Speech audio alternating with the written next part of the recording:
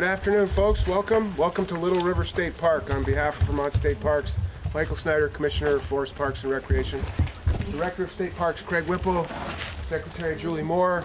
Uh, we're really thrilled to have the governor uh, having his weekly press conference here to help us kick off the kind of the unofficial beginning of summer and our serious beginning of our, our camping season at Vermont State Parks. More on that uh, shortly, but with that, I'll introduce Governor Scott. Welcome, Governor. Thank you. Thank you. Well, good afternoon, everyone. Great to see you here at Little River State Park. I have fond memories of camping here years ago. While it may not feel like it, uh, Memorial Day weekend, which we just celebrated, uh, marks the unofficial start of summer. This means the start to uh, the start to welcoming folks to our state parks, which for the most part are in full swing for the summer, including a huge network of multi-use trails. And we have high hopes for another successful year. The outdoor recreation uh, is, uh, is a major contributor to our $2.8 billion tourism economy and a primary reason why 13 million people visit the state each year, why young professionals relocate to Vermont, and why Vermonters choose to remain in the state. Last year, we saw over 1 million visits to our parks. This was an impressive 45% increase from the last, uh, over the last 10 years. I think people are realizing how important it is to get outdoors with friends and family, and our great selection of state parks is an easy way to do it. We're seeing a similar uptick at popular trailheads in both state and municipal forests. With increased use, there's more urgency to make sure our infrastructure is in good repair. It meets the needs of the park and trail visitors, many of them Vermonters. That's why we're making improvements to some of our busier trail networks. For the last several years, we've focused on increasing capital construction dollars for our parks infrastructure, which is important because uh, many of these were originally built between 1930 and 1960. Modernizing is important, even in the world of camping. Recent construction of small cabins in our campgrounds is a prime example. Traditional camping is still strong, although there's also an interest in having a little more creature comfort um, instead of sleeping on the ground in tents, uh, a growing number of people prefer our rustic cabins with beds, chairs, tables, four walls, and a roof. When I was uh, when I was a kid, my dad decided he wanted to take up camping, take the family out camping. And uh, as uh, some of you know, my dad was a double amputee uh, as a result of World War II. Uh, but he decided uh, he was pretty independent, and we had a station wagon at the time, and I remember him buying a, uh, tent that fit on the back of the station wagon uh, that would over over overlook the, the back of the, the station wagon, but then we'd have to sleep on the ground. Uh, and that lasted about one weekend. And he said that he had done enough camping on the ground in the service, so he we went and bought a pop-up camper at that point. so we spent the summer the summer doing that. Unfortunately, he passed away the next year. But back to our state parks. I think you would appreciated uh, the uh, the uh, camp um, uh, creature comfort of today. So back to our state parks. These uh, these cabins we offer now have an occupancy rate of 85 to 90 percent, compared with a 40 percent system wide. Interest continues to grow, showing there's a clear demand for more. So I'm pleased to have worked with the team here and with the support of the legislature to fund an effort that will build at least 20 more cabins, increasing the total inventory from 45 to 65. And here's what I really love about this initiative. In addition to increasing our capacity uh, for overnight visitors, these simple structures are an excellent training project for those learning technical skills in carpentry, excavation, and electrical. As many of you know, uh, tech schools are important to me uh, because I'm a product of them. So I've asked our Forest, Forest Parks and Recreation Department to work with career and technical centers across the state and have students build these valuable and useful structures. This way, it becomes a project to build important tourism infrastructure while at the same time teaching useful practical skills to our young people. Skills that can help them prepare for well-paying, meaningful jobs in Vermont. The truth is, we need more of our youth involved in the trades, as the average age of a construction worker is about 56. So this is a great way to achieve multiple goals we have as a state. This is just one of the uh, many initiatives uh, our Parks Department is working on to encourage camping and outdoor recreation.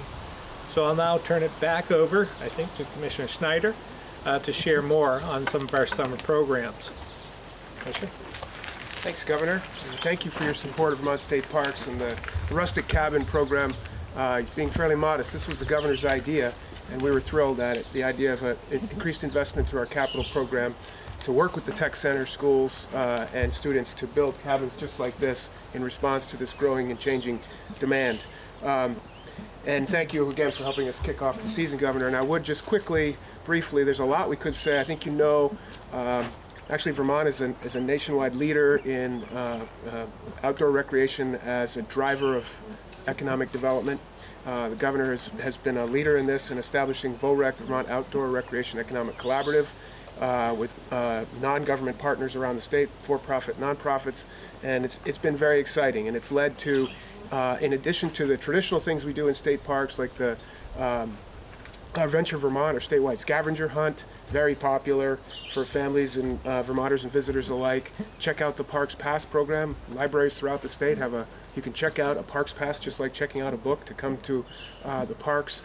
Uh, we have the Parks Prescription Program where we work with medical providers to literally write prescriptions to children who might need a little less screen time, a little more outdoor time, to have a Parks Pass as a prescription to get out. Uh, and on and on it goes. Through VOREC, we've initiated uh, and partners at the Outdoor Gear Exchange more recently, our first time Happy Campers program, which is helping folks who might have an interest in coming to a park and doing some overnight camping, but have a barrier, they don't have the equipment, they don't have the know-how, with uh, generous donations from uh, Outdoor Gear Exchange and their manufacturers and, and, suppliers, providing camping gear for first-time campers, and then our wonderful park staff helping them, welcoming them, helping them get set up, understand how to use the equipment and how to orient to the park. Um, we have, uh, you know, this this range of opportunities in state parks, and I would just close by saying we see the parks uh, as kind of gateways to so much more in the outdoors. And when people get outside, we see tremendous economic benefit. As the governor said, over a million visitors to state parks last year, and uh, nearly $90 million of related spending to, to, parks visitation for our economy. Uh, there's local economic development, there's health and wellness benefits, family togetherness, and an environmental connectedness. That's a powerful package. And the parks are one avenue to that. Uh, and we continue to do the other things, expanding our trail networks for mountain biking, hiking, backcountry skiing, doing that with statewide partners like our member-based trail organizations throughout the state. Uh, and right here at Little River State Park, some world-class single-track mountain biking been in, uh, that we've increased in the last several years. You drove by a new parking lot going in. That's all part of stewarding our recreational assets and growing them for, for, and leveraging them for even greater economic development and, and wellness. So we're really proud of it. Thrilled that the governor would appreciate your support for that. And um, uh, and other duties as assigned, right? Yeah. Keeping litter out of our parks. So we're here to take, and I would rely on Craig, who's uh, who's uh, a master of uh, guiding our staff in the state parks. Uh, they're very successful. We're extremely proud of that. Uh, Craig's here to help answer wh whatever questions you might have. I understand there might be a couple other things on your mind as well. but with that, I'll, I'll step back and we'll open it up to questions. Thank you. Craig's only been here for what, uh, three or four decades? A few days, yeah. Are the new cabins going to be across all parks statewide? We haven't, we haven't um, uh, decided where they're going to go. We're working with the tech centers now. It, so depending on the interest of the tech center, the, the, the, the, cool part of this program is that we've got parks all over the place and you got tech centers all over the place. So we're hoping to scatter it around and spread it to whichever tech center this fits into. Because I think there's there seems to be a whole lot of interest from the tech centers, but some of them already have class projects in the in the, in the queue, and this wouldn't fit. So we're just kind of working out those details. So uh, we we hope to spread them all over the place. What are what are the amenities like in these cabins for people who might come to the parks and get a bare bones campsite where they pitch a tent and have a fire pit? What are these like? It's a long ways from that. Um, uh, we, you can come in here in a minute and, and take a look at it, but there's a futon to sleep on, there's some bunk beds, there's a table and chairs, electricity, um, uh, windows to close, uh, window screens, um, and there's a, a, picnic table and a, and a, and a fire uh, ring. So you, you, you cook and you, you, you spend time outdoors like all the rest of the people in the campground, uh, but you have this shelter to be in. And there's no plumbing in these, so the, the, you use the showers and the other restroom facilities like all the other people in the campground. And we put them on existing campsites, so we haven't really increased the number of campsites um, in most cases, but we've just, we've just upgraded certain tent, uh, otherwise tent sites to put cabins on. Generally speaking, what do they cost to stay in per night, and how much do they actually cost to build one of these things? When we build them with a contractor, it's generally averaging about forty thousand dollars a piece. Um, building them, all in. everything, yeah. Um, building with a tech center, we're not sure um, uh, how those the, the costs are going to work out for that. Um, to rent them, it, it costs you uh, fifty-three bucks a night, mostly. Um, uh, if you're a Vermonter, we charge you fifty-one dollars a night. Thank you. You're welcome. Um, um, There are a few around the, that we, we set prices, um, uh, uh, there's some variable pricing around. In Burton Island, you're gonna pay more. Uh, Some other places, they're a little bit higher. Across the board, mostly it's about. Um, you talked about the uh, prescriptions for park passes. This has been in place since the last administration. Do you know how many of these prescriptions are being written on an annual basis? Uh, this- We have, um, this is in partnership with the Governor's Council on Physical Fitness and Sports.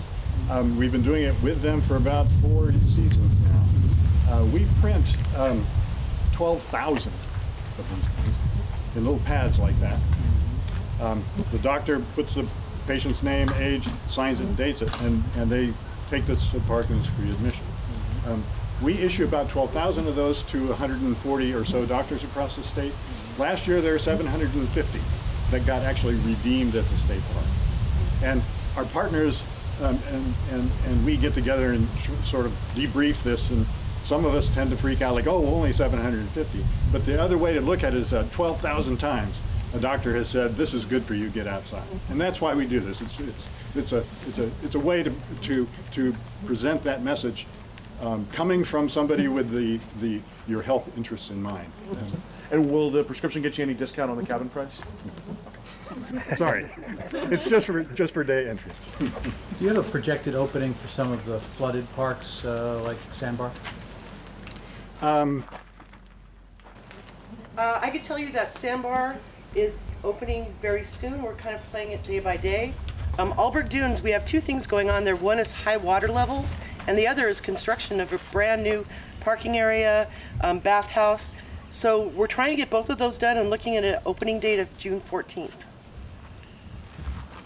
Maybe folks should know that the reason for those delayed openings in the lake parks is high water and and, uh, interfering with infrastructure and, and operating and, and just enjoyment. So uh, it's unplanned and it happens.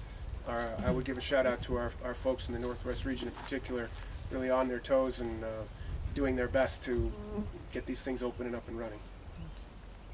Uh, Green, Green Mountain Power is currently doing work here, both at Little River and over, also over at the Waterbury Reservoir, as part of their renewal of their permit to generate hydro.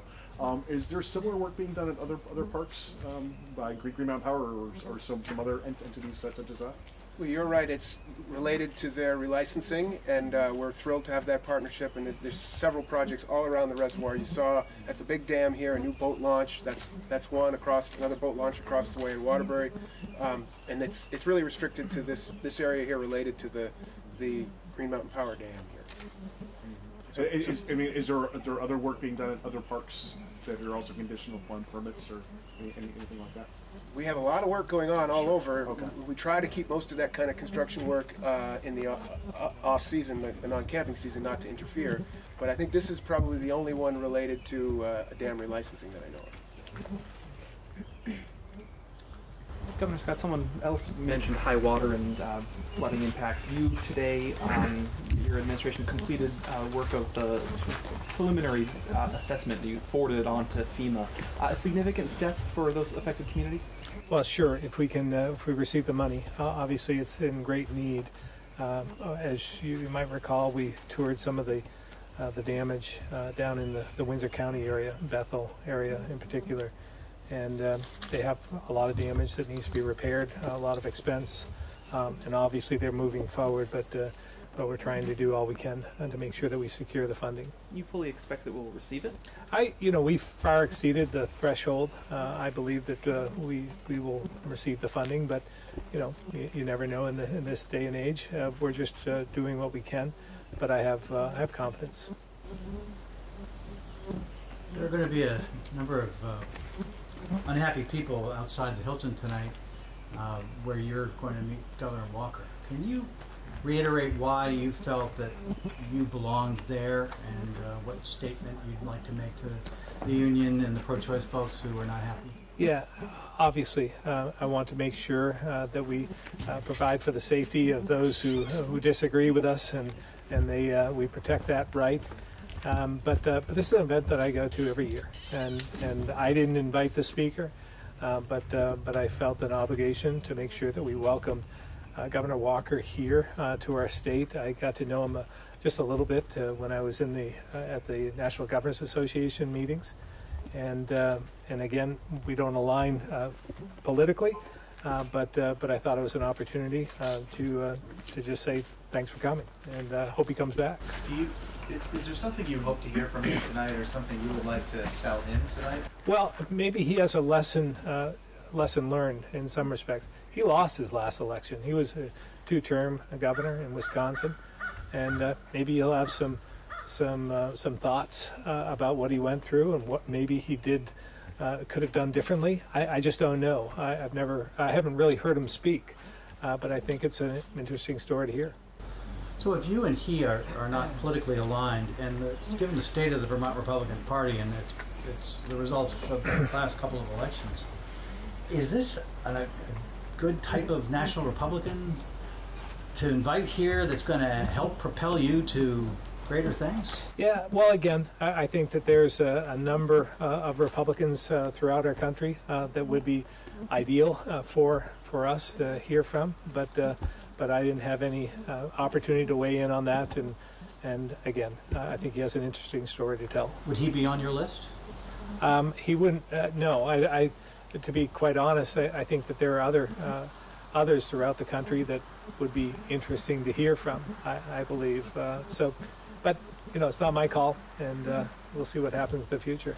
Well, what would you say to the pro-choice and union folks uh, who are going to be outside who might associate you with him? Well, I think Vermonters know me. Um, you know, I'm pro-choice. Uh, I always have been, as well. Uh, you know, I've had, uh, we've had our our, our share of uh, disagreements with the union, but there have been times when uh, when we work together. Uh, look at the with the NEA uh, this year. Uh, we we uh, had a joint press uh, conference with them with an initiative. So we're you know, Vermonters know me. I'm a centrist. I'm open-minded and always willing to listen to other points of view. And I think that that's that should be the message here. That we should be we see ourselves as being so tolerant, so compassionate. Uh, we we should practice that, and we should listen to others. And and I think this is an opportunity to do so. Didn't you just a few weeks ago, though, decline to attend an event with a very conservative Republican activist woman? I chose not to go. I chose not to go uh, to that event. It wasn't uh, some. They didn't, I wasn't really invited, uh, so to speak. Uh, this is an event that I go to on a yearly basis. You, you've uh, suggested the direction that the party leadership, the GOP party leadership in Vermont is taking is maybe a little too conservative, that maybe there needs to be a change in who's leading the party. Um, do you feel like you're, uh, changing your mind here? Is this, um, do you still feel that way, or do you still feel that the, the party is taking too conservative a direction? Well, the party had an election. Uh, they chose who they wanted to, to lead uh, the organization. Uh, I had an opportunity to uh, to put a candidate forward, and, and we didn't weren't successful. Uh, but it's uh, it's what the majority wanted at the time, so I respect that. Um, but I'm still going to move forward in the same fashion that I have for the last 20 years. I'm independently minded. Uh, I'm a centrist, and uh, and I'll call them as I see them. Can you give us any insight into some of the bills that you're planning to either veto or let go into law by signing or by without signing? All the above. Yeah. Um, I, um, we continue to wait for bills. Uh, I signed a few more uh, today. Uh, the uh, capital construction bill was probably the largest. Uh, a couple in terms of uh, uh, judiciary uh, bills uh, that uh, that I signed. Uh, haven't vetoed anything yet. Can we expect it? Uh, you never know. Um, there, there are a few that uh, I, I'm again trying to weigh in my mind. I'd like to see the bills and read them, uh, but we haven't received them yet. We're approaching uh, almost three weeks since they passed H fifty-seven. Any insight as to why that hasn't? Yeah, interesting. Uh, haven't seen uh, seen that one uh, or the gun bill. Uh, Yeah. to be honest with Yeah, you, that's been a while too. yeah, that has, has not They haven't has not indicated to you arrived. Why they haven't sent No, I know, you know, it takes some time for them to go through. Uh, they want to make sure they're technically correct from their standpoint.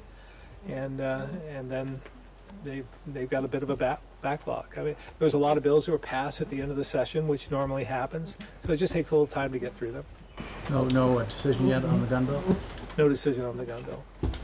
What um, led you to make the decision that you would let H57 uh, become law? Well, I, I just felt as though uh, there was a lot of uh, pent up fear, and what I'm seeing across the country uh, led me to try and tone down that fear a bit uh, because I knew that uh, I wasn't going to um, uh, veto the bill. So I just thought I, it was it was appropriate for me to just come forward and, and say, um, if everything is technically correct, that uh, the bill will go forward. What about plastic bags? Um, same, same with that. Uh, I haven't seen that one yet either. Um, but uh, it, you know, it, as I've said before, it seems as though um, there's been some agreement as to uh, that uh, initiative, and so if everything's technically correct, I would say that that would move forward as well. You've got uh, there's some money out there available, I guess, grant money for school safety upgrades. Um, I guess this is part two or phase two that you're in now.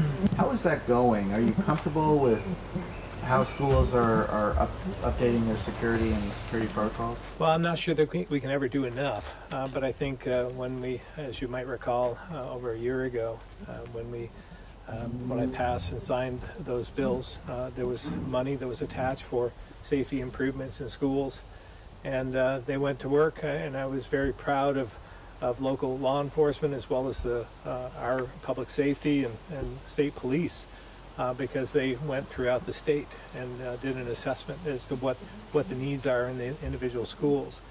So we put that, that money to work in a fairly short order, and, and I thought that that was important to do. And we'll do the same here. And it's working. It's, it appears so. I mean, again, um, we've seen some threats since, and uh, we have to be vigilant and make sure that uh, if you see something, say something.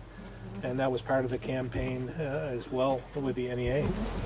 You gotta go by and take a look at the uh, four F-35s that happened to have paid an unexpected visit. Yeah, I was surprised to, to hear that they landed uh, in Burlington, but I, I think they're off limits. Uh, I haven't. Uh, I? Maybe I don't. I don't know. You know, this these are Air Force, I believe, uh, but uh, maybe they aren't. Maybe they're National Guard. Uh, they're out of uh, no, out, out of Utah. Yeah, out of Hills. So I think it's Air Force. So uh, I'm not sure that. I haven't received an invitation. I haven't really had the time to do so. There was a lot of speculation at the end of the session about whether you would veto the minimum wage bill or the paid family leave bill, and I know that neither are obviously coming to you, but you, could you give folks some insight into where your where your thinking was uh, Well, and is on those two bills as I- they as you again- knew they stood at the end of the session? I think it's important for everyone to, to understand. First of all, I, I vetoed both of those uh, last session. Different versions. Different versions, but uh, but last session, uh, and uh, these were not my initiative. Uh, I believe there's a different approach uh, with minimum wage. I believe that we should be focusing on the economy, that that supply and demand does come into play, and and I believe wages wages are rising. So I think this would have a detrimental effect on some of the rural parts of our state, and so I'm uh, I was you know, obviously cautious about that. I want Vermonters to make more money. I mean, that's the bottom line. I think that's a, an area that we uh, we agree uh, with. Uh, I agree with the with the legislature on. It's just how we get there. Um, so, uh, from that standpoint, um, just not my initiative.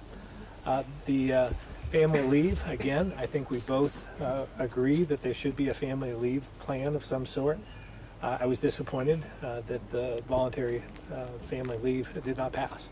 Uh, But we're only midway through. Uh, We have uh, the second half coming up, uh, and nothing was put into play, so we'll continue to uh, to advocate uh, for the voluntary family leave plan. I mean, with, with New Hampshire totally scuttling your side of it, could you have gone ahead if we had approved it just for Vermont? Yes, we could have, but, but I believe that theirs is still in play. They have another, um, another month, I believe, in their legislative process. So they're still continuing to move forward with their, uh, the governor vetoed uh, paid family leave, but he's, uh, he's working with the legislature to forward his voluntary plan. It seems there's no question these will be back in January, and they'll more than likely try to get them to you quickly.